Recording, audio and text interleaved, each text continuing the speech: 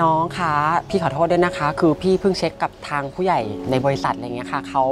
ไม่มีนโยบายรับสาวเพศสองเข้าทำงาน ในเรื่องของนโยบายเกี่ยวกับความหลากหลายทางเพศเนาะการเลือกปฏิบัติทางเพศในสถานที่ทำงาน ตั้งแต่ก่อนการทำงานระหว่างทำงานอะไรเงี้ยค่ะ ของซีข้ามเพศในประเทศไทยในองค์กรภาคเอกชน มากกว่าครึ่งอะไม่มีเป็นลายลักษณ์อักษร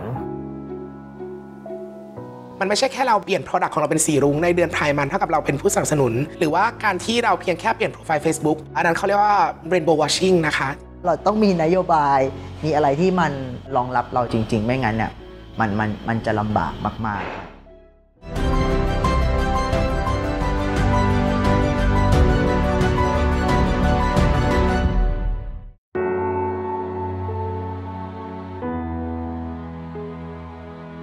สมัยที่จบใหม่ๆเนี่ยก็คือไปสมัครทำงานตามบริษัทต่างๆนะคะเขาก็พูดตรงเลยว่าน้องโทษทีนะที่เนี่ยไม่มีนโยบายรับสาวประเภท 2 พูดอย่างนี้เลยเขาบอกว่าถ้าน้องเป็นเกย์ผมสั้นพี่จะรับ แต่พอน้องแต่งหญิงอะไรอย่างเงี้ยคือเขาอะไม่รับแบบนี้เลย ในเชิงกฎหมายกระทรวงมหาดไทยก็ยังไม่ได้ออฟเฟอร์ให้เรามีหลักฐานทางกฎหมายที่สอดคล้องกับเพศสภาพ เรื่องการตระหนักรับรู้ในเรื่องของพรบความเท่าเทียมระหว่างเพศเนี่ยมากกว่าครึ่งนะ องค์กรภาคเอกชนเนี่ยไม่ได้รับรู้ว่ามันมีแล้ว ถ้าสมมติเข้าไปทำงานแล้ว คุณอยาก transition ในระหว่างนั้น มีนโยบายให้ลาไหม ประกันสังคมมีระเบียบปฏิบัติยังไงกรมแรงงานมีมีระเบียบปฏิบัติยังไง ก็ยังไม่มี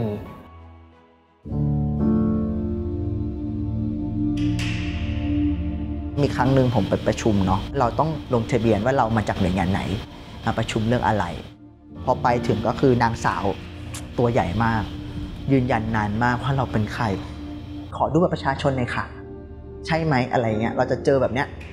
ในบริษัทที่กูเคยทำงานด้วยมาก่อน ตอนเวลาจะไปห้องน้ำพี่เขาถามว่าแบบเออนี่เราอยู่เข้าน้ำอะไรอะมันเป็นการที่เขาไม่ได้เคารพ boundaries แล้วก็ไม่ได้เข้าใจถึงอัตลักษณ์ของความเป็น transgender ของเราเลยอย่างนี้ค่ะ transgender ก็คือ gender dysphoria อย่างหนึ่ง การรับรู้สภาพเพศอันนั้นน่ะมีความรุนแรงมากขึ้น หรือว่าทำให้เขารู้สึกว่าผิดปกติ แล้วรู้สึกว่าไม่อยากจะอยู่ในร่างที่เขามีจนทั่งนำไปสู่ความกระตุ้นที่อยากจะทำให้เขาเปลี่ยนเพศสภาพ เจ้าของร่างเนี่ยสามารถที่จะตัดสินเองได้ว่าเขาจะแฮปปี้ที่ตรงไหน หยุดที่ตรงไหน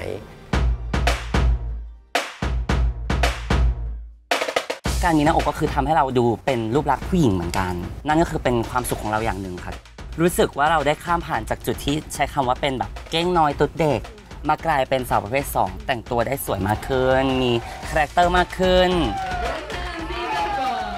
เรื่องของ communication หรือว่าการสื่อสาร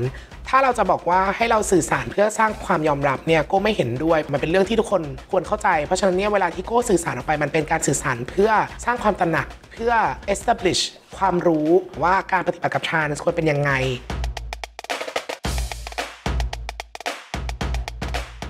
บริษัทใหญ่ ๆ หลายแห่งเนี่ยเริ่มแอคทีฟเราจะเห็นได้จากช่วงเดือนพรายมัน ถ้ามองในแง่ดีคือเขามาเข้าร่วมละ แง่ดีขั้นต่อไปคือเขาเริ่มมีนโยบายละเขาเริ่มมีวิสัยทัศน์ที่กว้างขึ้น บางบริษัทมีแค่วิสัยทัศน์ แต่ไม่มีนโยบายอย่างชัดเจน บางบริษัทมีทั้งสองอย่าง ซึ่งมันดีขึ้น แล้วบริษัทที่ที่ทำได้ดีก็มีมีมากขึ้นเรื่อย ๆ นะคะ